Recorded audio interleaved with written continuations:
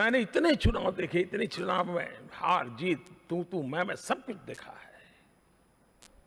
लेकिन मैं कह सकता हूँ, मेरे जीवन में 2019 का चुनाव, ये एक प्रकार से तीर्थ यात्रा थी।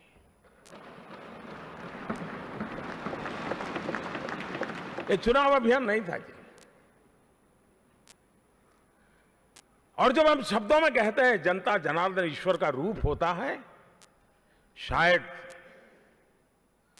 हमारे सांस्कृतिक विरासत के अंदर ये शब्द मिले होंगे, मैंने अपनी आँखों से, अपने हृदय से, अपने आत्मा से, अपनी बुद्धि से अनुभव किया है कि जनता जनार्दन ईश्वर का रूप होता है और मैंने अनुभव किया है कि इस बार का मेरा ये भारत भ्रमण तीर्थ यात्रा के समान था।